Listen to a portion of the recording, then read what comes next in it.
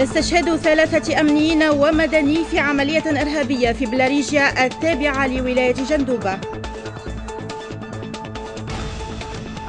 توريد 12 طنا من لحوم الخرفان للتحكم في أسعار اللحوم الحمراء. مقتل أربعة أشخاص وجرح العشرات في تفجير حافلة سياحية في سيناء المصرية.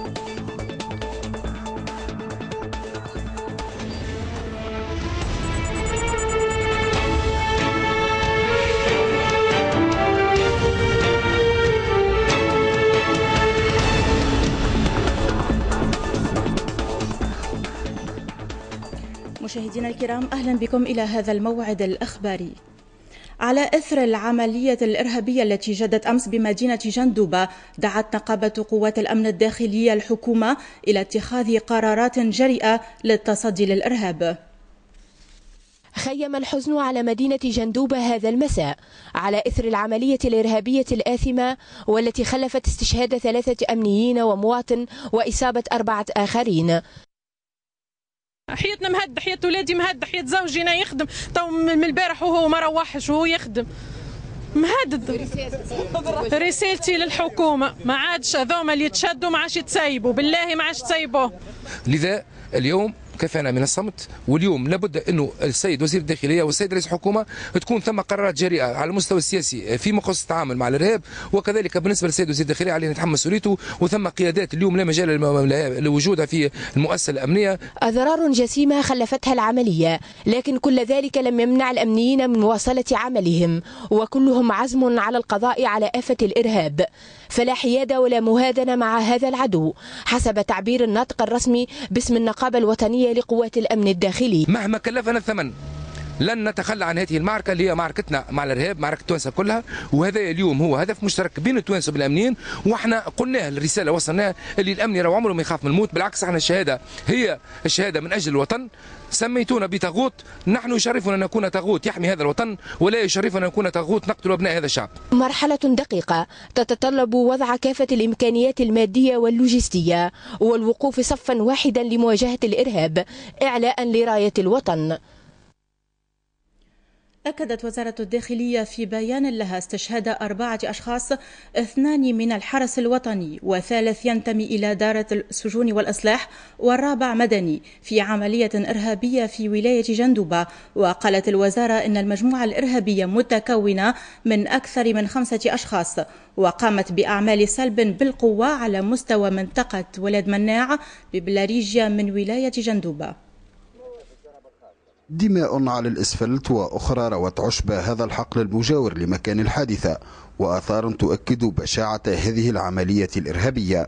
شهود عيان أكدوا أن هذه المجموعة الإرهابية التي كان بعض أفرادها من جنسيات أجنبية استوقفتهم وقامت برشهم بالغاز المشيل للحركة وسلبهم هواتفهم المحمولة ومبالغ مالية وسيارة خفيفة قبل أن تطلق النار على سيارة تابعة للحرس الوطني. إحنا ضربونا بالغاز فكونا تليفونات والبيسيات وزونا الكهرباء ومشوا أرواح ثلاثة زيرية وواحد تونسي. من اللهجة خاطر اللهجة ظاهرة زيرية ثلاثة يحكوا معنا الزيرية ومعهم واحد تونسي. وقد أكد بعض الأهالي سماعهم لدوي إطلاق النار قبل أن يفاجأوا صباح اليوم بهذه العملية الإرهابية. سمعنا الكرتوش حوالي ماضي ساعة أو أكثر. وكهو هذا ما سمعنا. والصباح؟ والصباح جيت ماشي الخدمة عرضونا العوان نلقوا هذه كلها عوان حبسونا غادي قال ما ثمش خدمة. وبعد التحريات الأولية التي أجرتها الجهات المعنية أكدت مصادر أمنية ميدانية أنه تم تحديد هوية بعض الأشخاص المشتبه في ارتباطهم بهذه العملية ومنهم أحد أبناء المنطقة المطلوبين في قضايا مختلفة. هذه المنطقة الريفية شهدت إحدى أعنف العمليات الإرهابية في بلادنا لينضاف أربعة شهداء إلى قائمة شهداء الوطن. حسن الكريمي التلفزة الوطنية التونسية. منطقة بني حامد جندوبة. وفي مستشفى الأمن الداخلي بالمرسى كان للناطق الرسمي باسم وزارة الداخلية لقاء مع الإعلاميين تحدث فيه عن بعض تفاصيل العملية الإرهابية بجندوبة. هي عملية إرهابية أدت إلى استشهاد ثلاثة أعوان أمن ومواطن في جندوبة وفق المتحدث باسم وزارة الداخلية محمد علي العربي وهي مجموعة إرهابية متكونة من عناصر تونسية وأخرى أجنبية. فهي عملية جبانة قامت بها مجموعة إرهابية تتكون معناها تقريبا أكثر من خمسة عناصر فيها ثلاثة عناصر تونسية تم التعرف على الهويات نتاعهم وزوز عناصر آخرين عناصر أجنبية. آه، الوحدات الأمنية آه، معناها لا تقوم بالأبحاث والتحريات اللازمة. المجموعة هذه إحنا وراها وإن شاء الله يقع القبض على كل عناصر هذه. العناصر الأجنبية الأرجح إنه يكونوا معناها عناصر من الجزائري. زي زي زي آه، يشبه معناها الأزياء العسكرية وأكد المتحدث باسم وزارة الداخلية أن الإرهاب بات يهدد حتى حياة المواطن الأعزل في المقابل شدد على جاهزية رجال الأمن ويقظتهم تجاه كل عملية إرهابية مع ضرورة وقوف الجميع في وجه الإرهاب لمواجهة هذه المجموعات الإرهابية والابتعاد عن حملات التشكيك التي تطال المؤسسة الأمنية مع القطع مع عمليات تبييض الإرهاب التي يقوم بها البعض. وعن تفاصيل العملية يضيف. إحنا وصلتهم معلومة إنه فما نقطة تفتيش مشاو باش يثبتوا شنو هي النقطة هذه إلا أنه معناها وقع معناها آه، عملية إطلاق النار كثيف على على الدورية هذه ادت إلى استشهاد زوز العوان نتاع الحرس الوطني وقبلهم آه، معناها استشهاد زميل من الإدارة العامة للسجون والسلاح ومعاه مواطن. ملازم أول بالحرس الوطني كان أحد جرحى العملية الإرهابية. خضع لفحوصات طبية بمستشفى الأمن الداخلي بالمرسى فيما يخضع زميله لعملية جراحية. سنواصلوا الخدمة وماناش باش هذا الضرب هذايا ولا فهمتني الواحد والعمليات هذه راهي ما تحدش العزيمة نتاعنا. بإذن الله رانا درع الوطن بالصحيح. ونطلب حوايج أخرى ان شاء الله يعاونونا مكونات المجتمع المدني في القضاء على الظاهرة هذه. عملية إرهابية أخرى استهدفت هذه المرة رجال الأمن والمواطنين على حد سواء ما يشير حسب بعض المحللين إلى ضرورة تغيير استراتيجية مكافحة الإرهاب. إثر الحادثة التي شهدتها منطقة أولاد مناع ببلاريجيا من ولاية جندوبة طالبت النقابة العامة للحرس الوطني في بيان لها. وزارة الداخلية بتوفير مستلزمات الحماية للأعوان وبمزيد من الدعم اللوجستي والتقني والبشري. ودعت إلى الإسراع في المصادقة على مشروع قانون أحالته رئاسة الحكومة على المجلس الوطني التأسيسي يمنع الاعتداءات على قوات الأمن الداخلي وأعوان الديوان وحماية المقرات والمنشآت الأمنية. كما طالبت بتمكين الأعوان من سلاحهم الفردي ومزيد العناية بالجانب الاستعلاماتي وتوفير الاعتمادات الضرورية لذلك خصوصا بالمناطق الحدودية. وطالبت النقابة أيضا بإحداث إدارة عامة للإرهاب وإدارة عامة للتكوين صلب سلك الحرس الوطني. والإسراع بتفعيل فوج الطيران التابع للسلك كما نادت بتوفير سترات واقية للأعوان واعتماد شارات خاصة بهم وتغيير الأزياء والتمييز بين الوحدات الأمنية وتعزيز الدوريات بذوي الاختصاص. ولوحت النقابة العامة للحرس الوطني بالتصعيد طبقا لما يخوله القانون في صورة مواصلة تجاهل المطالب المشروعة لحماية رجال الحرس الوطني. في ولاية القصرين الآن تعرضت مقبرة سبيتلا إلى اعتداء من قبل مجموعة من الأشخاص قامت بطمس ملامح القبور وفسخ الأسماء بمادة الجبس. التفاصيل نتابعها ضمن هذا التقرير. بعد تفشي ظاهرة الاعتداء على مقامات الأولياء الصالحين في عدد من ولايات الجمهورية قام مجهولون بمعتمدية سبيتلا بتشويه عدد من المقابر بمقبرة سبيتلا حيث استعمل المشتبه بهم الجبس لمحو أسماء الموتى والآيات القرآنية والدعاء الذي كتب على قبورهم. في المدخل متاع الباب تلفت ثم جماعة أولاد قاعدين يحفروا هكا في كبار متلفت لهم ما عملتش لهم اهميه وتعديت على روحي. وقت اللي وصلت بحذا كبار خويا بالضبط نلقى الرخامة معمولة بالجبس واللسم وكل ممسوح بديت نعيط للي خالة امي وأخواتي ورايا قلت لهم اجروا شوفوا الكبار كيفاه. وقت اللي رجعنا للجماعة هذوكم اللي يحفروا نلقوا الحفرة. هكا حافرينها وجماعة هذوكم. أمر أثار غضب أهالي سبيتلا الذين نددوا بهذا التصرف المشين واعتبروه اعتداء على حرمة موتاهم مطالبين السلطة المعنية بالتدخل العاجل للتصدي لمثل هذه الظواهر. يجوا مع المقبرة. القراية حرام والاستثمار جبانه حرام والكل شيء حرام كل شيء عندهم في الدنيا حرام. شنو الحلال اللي عندهم هم؟ اللي هذا يعمل لحية. متحايلين وسراق. وين الحاكم؟ وين وزير الداخلية؟ وين الظاهره بتاعتهم هذه؟ تو هنا قبر واحد يجي القبر يمسخوا بالدهن الكتيبة حرام. هي مش حرام الكتيبة. هذا وعاينت السلطة المعنية الموقع وفتحوا تحقيقا في الغرض للبحث عن الجنات. اقتصاديا الآن أعلن المدير التجاري بشركة اللحوم أن الشركة ستواصل خلال الأشهر القادمة توريد لحوم الخرفان المذبوحة بهدف تعديل أسعار اللحوم الحمراء المحلية. ما زالت أسعار اللحوم الحمراء وخاصة منها لحوم الخرفان تثير تشكيات العديد من المستهلكين التونسيين. الأسماء مرتفعة جدا تو عندها أكثر من عام مرتفعة بشيء ما يشرحه حتى شيء لا قانون العرض ولا قانون الطلب. غالية خاطر كي تاخذ تاخذ باش تبدل باش تاخذ ما يساعدكش باش طيب. ونظرا للتشكيات المتواصلة للمستهلكين من أسعار لحوم الخرفان ستواصل شركة اللحوم توريد 12 ألف رأس من الخرفان المذبوحة أي ما يعادل 200 ألف طن من لحوم الذأن. العملية هذه باش تتم عن طريق من إسبانيا. على خاطر توا بالنسبة لإيرلندا الأسعار نتاعها مرتفعة وإحنا نحبوا نحافظوا على المستوى الأسعار الموجودة توا اللي هو 13 دينار و500 بالنسبة للقصابين كسعر إحالة. و16 دينار بالنسبة للمواطنين. العملية هذه باش تتواصل حتى إيش لآخر العام؟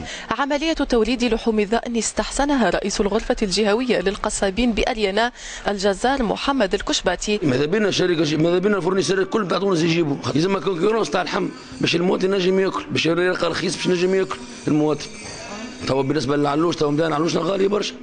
العلوش 21 دينار و400 21 دينار و540 فرنك. ولكن أشار عدد من القصابين وبعض المواطنين إلى أن عملية توريد اللحوم لا تعتبر حلا تعديليا مبررين ذلك بعزوف عدد هام من المستهلكين عن شراء اللحوم الموردة.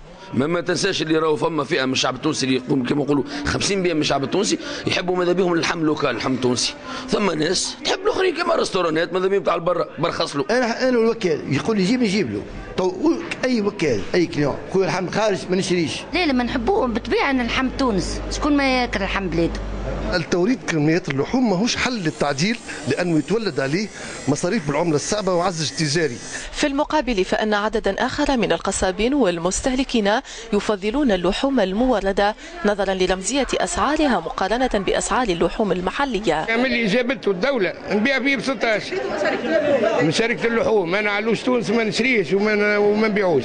بالنسبة للمورد من برا surtout هذا اللي يقولوا عليه إيرلندي من أحسن اللحم اللي أنا ذقته في حياتي ما نجمش نقول لك خير من التونس ما نجم نقول لك كيف التونس هذا هابرة وبنين وب 16000 في متناول الجميع. ويبقى للمستهلك التونسي الاختيار إما أن يحافظ على توازنات ميزانيته ويشتري لحوم الخرفان المورده بأسعار مناسبة أو أن يظل وفيا لمذاقه محبذا اللحوم المحلية بأسعارها المشطة.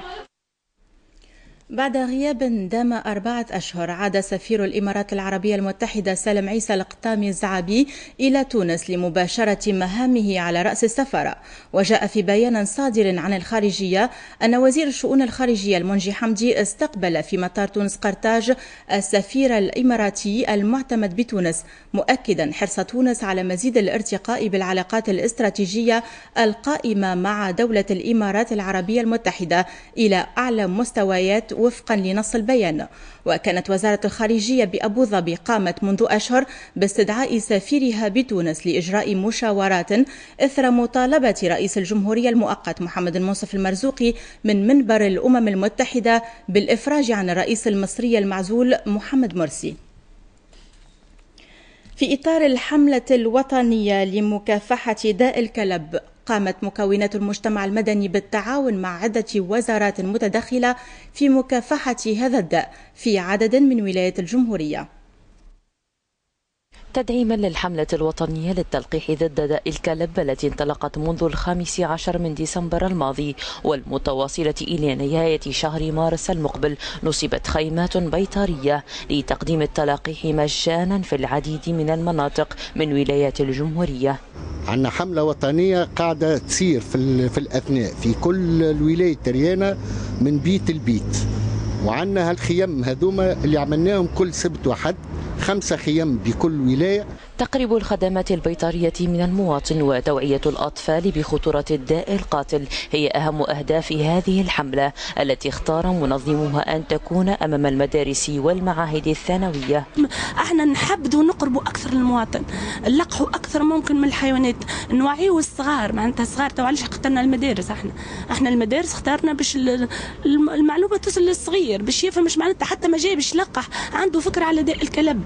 الحملة نالت استحسان أهالي منطقة رواد الذين عبروا عن أملهم في أن تتواصل مثل هذه المبادرات.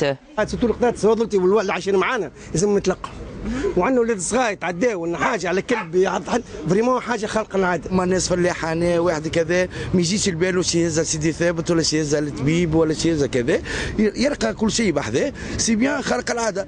ورغم غياب إحصائيات رسمية تحدد حجم الإصابة بداء الكلب إلا أن مثل هذه الحملة الوقائية ضرورية خصوصا مع الانتشار المكثف للكلاب السائبة في الشوارع. أخبار العالم نبدأها من مصر حيث قتل أربعة أشخاص وجرح العشرات في انفجار حافلة قرب الحدود مع إسرائيل في سيناء. هذه الحادثة تزامنت مع تأجيل المحكمة المصرية لمحاكمة الرئيس المعزول محمد مرسي إلى يوم الأحد المقبل. حالة استنفار قصوى تعرفها الآن شبه جزيرة سيناء على الحدود مع إسرائيل. ومعبر طابة الحدودي يغلق لأول مرة هذا العام بعد انفجار حافلة سياحية فيه مخلفة مقتل سائحين كوريين جنوبيين اثنين وسائق الحافلة المصرية وإصابة 33 آخرين على الأقل. حدث انفجار في تفجير في اتوبيس سياحي. group كله معظمه كوري. كان جاي من سانت كاترين في اتجاه منفذ طابة قدام دهيلتون طابة. حصل الانفجار إحنا حتى الآن ثلاثة وفيات و12 مصاب. حادث الانفجار هذا يعزز المخاوف من تردي السياحة المصرية أكثر خاصة وأنه يمثل أكثر من 11% من موارد مصر من العملة الأجنبية. تردي الأوضاع الأمنية في مصر يرافقه اضطراب وعدم وضوح رؤية في الجانب السياسي في البلاد منذ عزل الرئيس السابق محمد مرسي في الثالث من جويليا الماضي. مرسي اليوم تأجلت محاكمته مرة أخرى إلى الثالث والعشرين من الشهر الجاري. تأجيل نظر القضية لجلسة 23 2 2014 وأمرت بندب عشرة من السادة المحامين المقبولين المرافعة أمام محكمة الجنايات. مرسي يحاكم وخمسة وثلاثين آخرين من أعضاده في النظام السابق من بينهم المرشد العام لجماعة الإخوان المسلمين محمد بديع بتهم التخابر مع جهات أجنبية. تصاعدت وتيرة الهجمات في العراق حيث قتل أمس 17 شخصا من بينهم أمنيون وجنود ومدنيون في هجمات متفرقة بالبلاد. وقد أعلنت بعثة الأمم المتحدة لمساعدة العراق عن مقتل أكثر من 700 عراقي وإصابة نحو 1200 آخرين بجروح في أعمال عنف خلال شهر جانفي الماضي.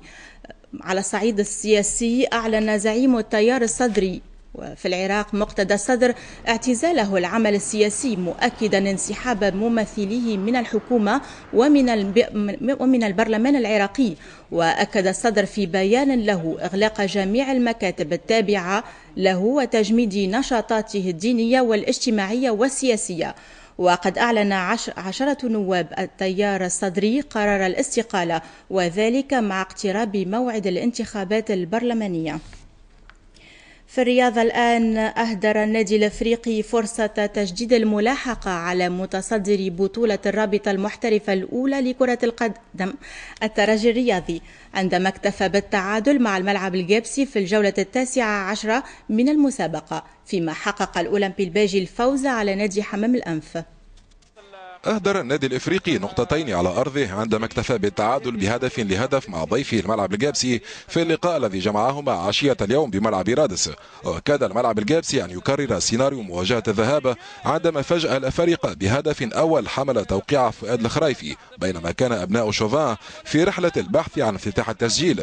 قبل أن يتمكن تشادي إيزيكيل من إدراك التعادل أواخر الفترة الأولى غير أنه عجز في الفترة الثانية عن إضافة هدف ثاني الإفريقي إثر تفننه في إهدار فرص عديدة كانت لتمنح صاحب المركز الثاني ثلاث نقاط في سباق الصدارة مع ترجي العاصمة ليكتفي فريقه بنقطة وحيدة. وعلى ميدانه استغل الأولمبي الباجي تعثر الملعب التونسي أمس ليغادر ولو إلى حين المركز الأخير بعد الفوز بهدف دون رد أمام ضيفه نادي حمام الأنف رافعا رصيده إلى 16 نقطة. وحمل هدف المباراة الوحيدة توقيع اللاعب صدام بن عزيزة منذ دقيقة الثلاثين ليجمد رصيد فريق الضاحية الجنوبية عند النقطة الثالثة والعشرين. وفي باقي المباريات واصل النجم الساحلي سلسلته الإيجابية من خلال فوز ثمين بأولمبي سوسة بهدف دون مقابل على النادي البنزرتي رافعا رصيده إلى 35 نقطة ورفع فريق مستقبل مرسى عدد نقاطه إلى 29 بعد تغلبه بثنائية مقابل هدف على جرومباليا الرياضية واستعادت شبيبة قيروان نكهة الفوز برباعية مقابل هدف أمام قواف القفصة التي تابعت نزيف النقاط فيما رفع النجم المتلوي رصيده إلى 22 نقطة بفوزه على الاتحاد المنستيري بهدف دون رد. وكان ترجي العاصمة تغلب أمس بثنائية نظيفة على الملعب التونسي في مستهل الجولة مبتعدا ب 44 نقطة في الصدارة فيما حقق النادي الصفاقسي حامل اللقب الفوز بهدف دون مقابل أمام ضيفه فريق جريد التوزر نهاية النشرة مشاهدينا وهذا تذكير بالعناوين. استشهاد ثلاثة أمنيين ومدني في عملية إرهابية في بلاريجيا التابعة لولاية جندوبة توريد 12 طنا من لحوم الخرفان للتحكم في أسعار اللحوم الحمراء.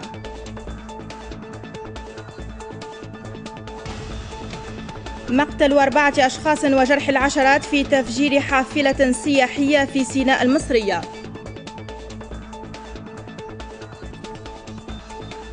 ختام النشرة شكرا على حسن المتابعة والاهتمام.